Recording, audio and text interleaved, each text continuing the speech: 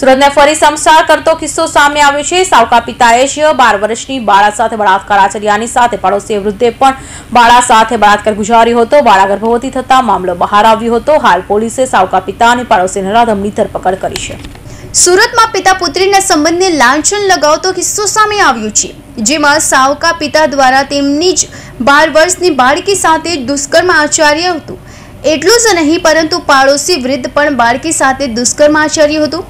સતત દોઢ વર્ષથી માસૂમ બાળક સાથે થતા યૌન શોષણને લીધે બાળકી ગર્ભવતી થઈ હતી અને બાળકીને સાડા છ મહિનાનો ગર્ભ રહી ગયો હતો. બાળકીએ પેટમાં દુખાવાની ફરિયાદ માને કરતા સોનોગ્રાફીમાં બાળકીને ગર્ભ હોવાનું સામે આવ્યું હતું જ્યોતિ માતાએ સાવકા પિતા સંજય પાટીલ અને પાડોશી વૃદ્ધ હીરારામ સિંહ સામે ફરિયાદ કરતા બંનેની ધરપકડ કરી હતી. Bureau report Hind TV news Surat.